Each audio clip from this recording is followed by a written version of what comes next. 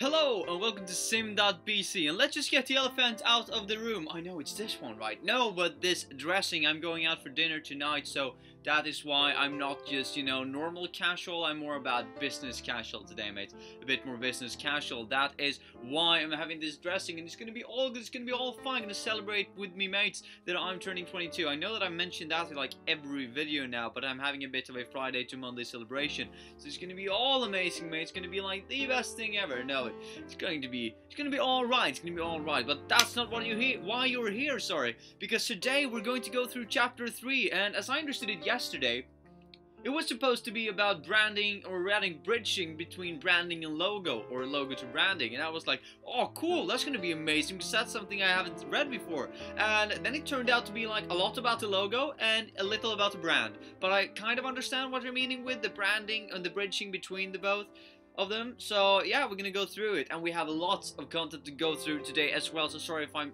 feeling like I'm just skipping over everything. But that's just because we have so goddamn many things I know these chapters, they're small and concise, but they have all of the good information, mates, and so good examples. I really like them so far.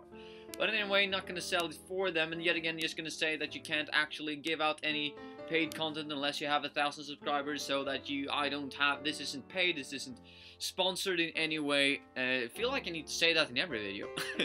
Anyway, let's begin. So, this was all about creating the perfect logo, apparently, you know, chapter 3 and all of that.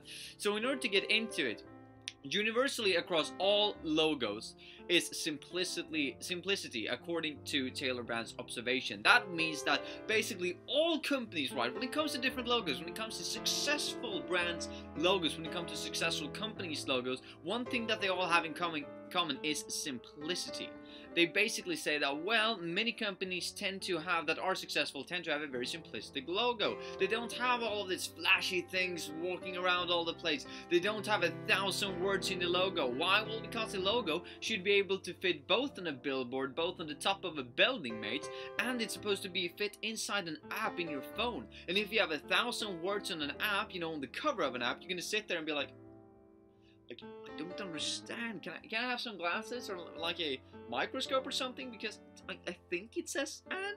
Uh, that's not what you want. You want something that is simplistic, something people can relate to, something that is easy to observe, something that is easy to connect to. And this should be connected to your branding as well and your core values. But we're going to get into that. So the first thing is simplicity because simplicity brings the possibility of being easily accessible everywhere. As I said, from billboards to apps. You can put, as I said, a thousand words in a logo and everybody will be like, I don't understand. And then you can put one word in a logo that just says like, sell or buy IKEA. I know I'm using IKEA a lot, but mates, I am a Swede, so that might be why, you know, industrialized context and all that. It can also be H&M, something that is simple, something that is easy to see, something that people can be like, I understand that. So simplicity is key. The next step is making it seem timeless. And an example of that, that could be car branding. You might use a wheel, let's say, instead of a special made car window that fits only one car. And what do I mean with this? Well, basically, you want it to feel, timeless. If you take Husqvarna, for instance, for instance, and let's try that with a bit more of an English pronunciation, and if any Swede's gonna watch this, it's gonna be like, haha, that sounds retarded, mate. Husqvarna, Husqvarna, I think, Husqvarna. Anyway, that company has been along since I think 1682. So that's in the, let's say if we translate this into English, the 17th century? Something like that. Yes, the 17th century. And they created a logo now that is timeless, something that you can relate to the company of all time. Because a company could live for that long. It could be 325 years of innovation plus now actually. It could survive that long. So in order for your business to be prepared to go that long, because you enter a business with the mindset, right, that you're going to make it in the long run, in the long term. So in order to have this, you can't just have something that is really catchy in the moment. You can't have your fidget spinners. You can't have a dab. You can't have that. You can. You need to have something that seems timeless so that you can make small modification on it over the years because you can you can make your logo fit to certain trends that's not what i'm saying but maybe you want something that is a core in your in your logo that can keep on that people are going to be like that's the same no matter what year it is a good example of this is horses in car in in the car industry. Why? Well, because we measure you know the the power of the engines in horsepowers. So if you use a horsepower, because that's how we measure power in cars, something that probably be there for a long time, and people can relate it back to what it means. It means horsepower. It means how we measure the engines. It means probably car. Am I right? Because that's basically all the time when I'm talking about horsepowers. It's in cars. When you have motorcycles, you talk about something else. I don't know what it is like hectic power or something. Anyway, that doesn't matter. Maybe there's horsepower is there as well. So there we have the second part. It should be timeless as well. It's not only being simple, it needs to be timeless as well. The third one is a color, and that is what people have the easiest time recognizing apparently according to Tailor Brands. And we're going to put an infographic up here from the chapter about the color blue, and just going to read it off here, mate, so that you actually get an understanding of what I'm talking about. Of course, you have it in front of you, but I'm just going to open it here. So what we're having is the infographic is in circles and it is a circle diagram it's an infographic i get it and then they have established three main parts outside. So if you only have uh, if you relate these three things to each other, you have secure, collected, worldly, you have mindful, calm, and trustful, and then you have classic, stable, and confident. Between secure, collected, worldly, and classic, stable, confident, you have custom. Between secure and mindful, you have aware, and between mindful and classic, you have gracious. And what does all of these have in common? Well, the color blue, because that is what different things that people might relate to color blue to. So it's not as easy as just picking a color. You need to pick the right color that fits the company. And color and understanding of the, the psychology behind it can help to convey your core values and branding behind it. So let's take the example of blue then yet again and make it e and make it easy for us. If you are in a company that are that are supporting a mindful and calm and trustful organization, then maybe blue is the best color for you. If you take yellow, it might be something that makes people stress. It might be thing, something that makes them happy. You don't want that. Even if that can be good at sometimes, you don't want that for your brand. You want people to feel calm. And then blue might be the best alternative option. Maybe you want it in the background to give an underlay and an understanding and underlying assumptions, that to say, of calm, a calm effect when you read it. Maybe you want to have it in the font so that people are actually focusing on it when they read it different things. You need to understand the psychology behind what the color actually means in order to actually understand it in a good way and to actually utilize it in a good way. An important thing to keep in mind is that sometimes the brand will be in black and white. So you need to make the brand and the logos, let's say, convey the same message and the same understanding even if it is in black and white. That's why many artists are using black and white sketches and then adding color to them later in order, you know, adding the colors that fits the company's branding and core values and core identity after the fact that they've already designed that a strong logo that works in black and white. Why is this important? Well, because sometimes when you print, you will print it in black and white. Sometimes when your uh, employees will print it, they will print it in black and white. And sometimes when people who distribute marketing for you will print it in black and white because it's cheaper, because that's the only alternative they have. Maybe in a developing country, they only have a black and white printer. So you need to be able to make the logo stand out even in black and white. It is important to have it being useful even in black and white because of the repercussions that it can have on your business when you're not in control over having it in color black and white. So that's why, as I said, many artists are working from a black and white standpoint and then adding in colors later. That's the third one in color. Fourth is font. Don't make it overwhelming. Make it natural and connected to the rest of the logo. And what do I mean with overwhelming? Because people are going to be like, well, it's a font. It's supposed to be overwhelming, isn't it? It's supposed to be there in your face. Like H&M. When I watch the H&M logo, it's the H&M. It's nothing else. Am I right?